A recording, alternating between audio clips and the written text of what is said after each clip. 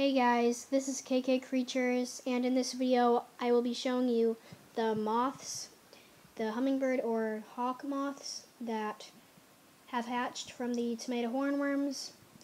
Um, if you guys have any tips, like on feeding these guys and all that, anything that's important, please let me go and know in the comments because, um, you know, this is one of my first times doing it, especially my first time breeding. I do have to do some research in this myself, but you know, any tips will be helpful. Um, by the way, there are two cocoons left, only three of them. Three of the moths have hatched, and that cocoon on the floor, that was just an empty one. Um, I've been feeding them, well, not feeding them, but I put some flowers in, some lantana, and a few other types, hoping that they'll be able to get the nectar out themselves. Um, if you have any tips on feeding, let me know because I don't want these guys to die. I'm going to try to breed them. And I'm going to put this potato plant in right here that I've grown for them because I heard that, and also I did feed the caterpillars sweet potato. And so I'm hoping that they'll be able, the moths will lay their eggs on the potato plant and then I'll be able to raise my own tomato um, hornworms. Um, so yeah, any tips are helpful. But I'll show you guys the moths up close now.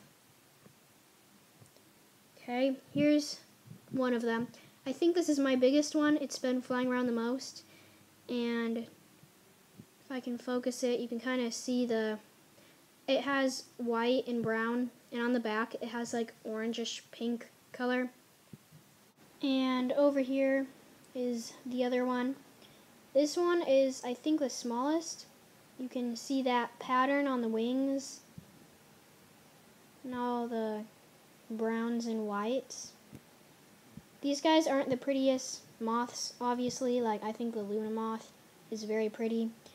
Um, but they are really cool. I like their size and, you know, just the, the caterpillars especially I love them. But if you have a favorite moth or favorite caterpillar, let me know in the comments below. And yeah, I'd like to know what your favorite is. But anyways, the other moth, if I can find it, hold on. The other moth is like the middle size.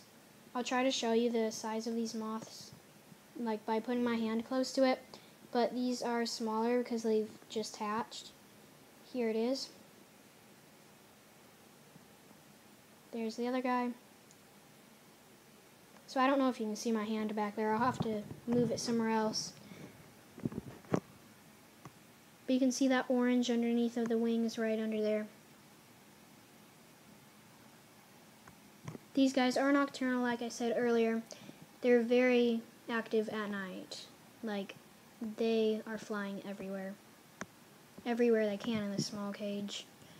But anyways, they are probably like, maybe like four inches long at the most. I think they're only like two or three. Maybe wingspan is four inches, but they're not that big, being a moth and everything, but... Well, if you have any questions, leave them in the comments below. Remember to tell me your favorite moth, and thanks for watching.